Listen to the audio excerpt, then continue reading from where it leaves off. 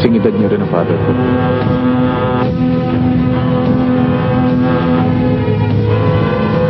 Pero hindi ito.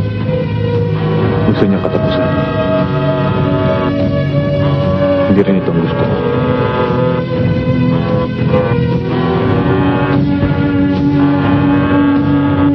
Ewan ko kung bakit ako nagkaganito.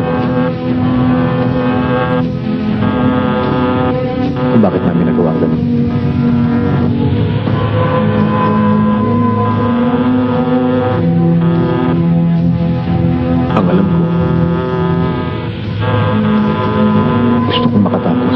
para poder.